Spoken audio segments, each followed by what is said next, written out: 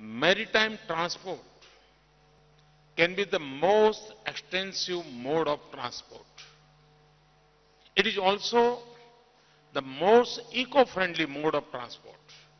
However, there is one more aspect to this fact, which is that ocean contains 99% of the living space on the planet. This means that our lifestyle, transport systems, and trading behavior should not spoil the ecology of the oceans. In the very early days of government, we announced the Sagar Mala project.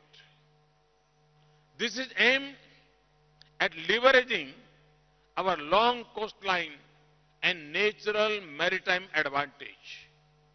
It also focuses on promoting port-led development, energizing the coastal economy and infrastructure development in these areas.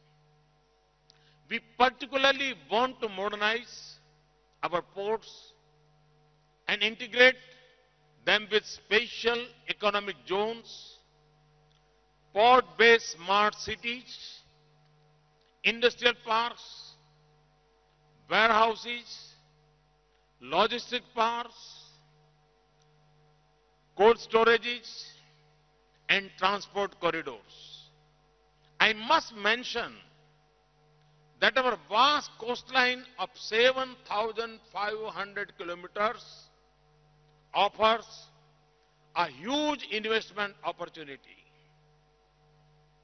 Apart from the length of the coastline, India's maritime potential also lies in its strategic location on all major shipping highways.